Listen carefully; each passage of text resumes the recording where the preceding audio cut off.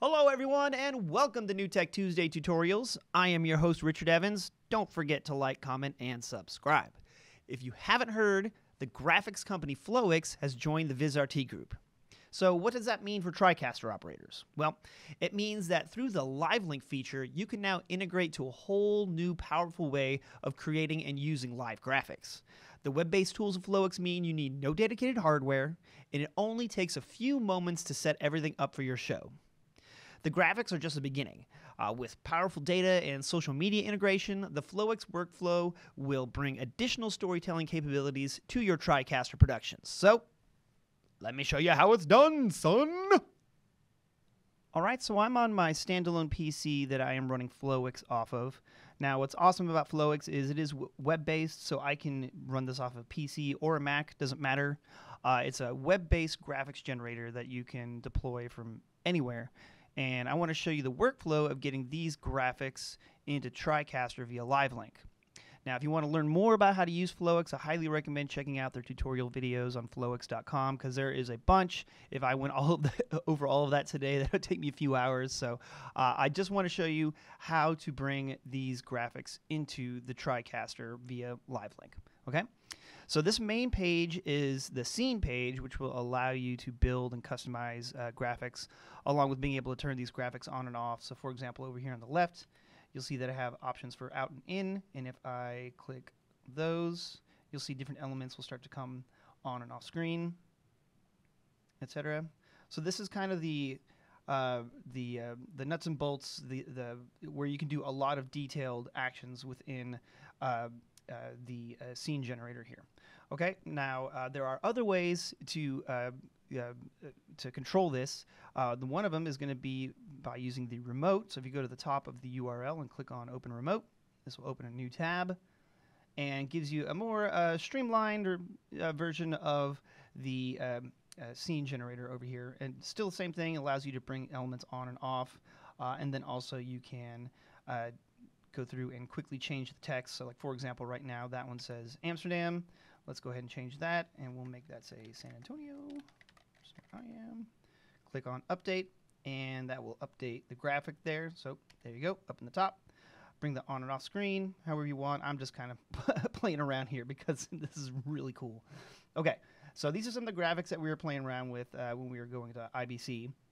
And uh, now what I want to show you is now how to bring these graphics into your TriCaster, the important part. Okay, so if you go to the top of the screen here, you'll see that there's an option for open output. And that gives you a full screen of what the uh, graphics are going to look like. So for example, I just have that exclusive up here, but if I go back over to my remote, I'll change that to live, and then you'll see that updates like that. So a cool little animated graphic.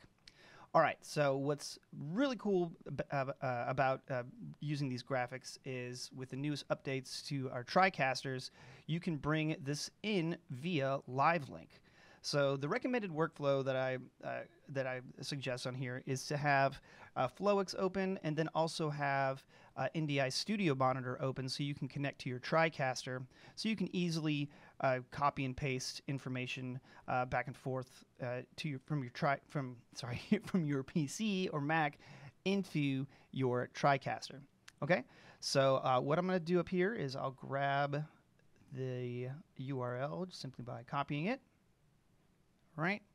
And now I'll go to my TriCaster, and to get to the Live Link feature, you'll go to one of your buffers here at the bottom of the screen. Click on the plus button. And this media browser is normally where you would go to load in uh, different animated buffers or images, etc. But uh, with the latest update, you'll see that there is an option for a web browser. So if I click on that, that will now allow me to bring in a URL. So I basically just pasted what I have uh, from my uh, Flowics controller here. I'll click on OK. And now that is loaded into my buffer. And so now all I really have to do is just bring those graphics on screen uh, by bringing them into a DSK here. So for example, I have DSK1. That is set up with my buffer one right now. Let's go ahead and bring that on. And now you'll see there is that live bug that I, I had generated off of Flowics.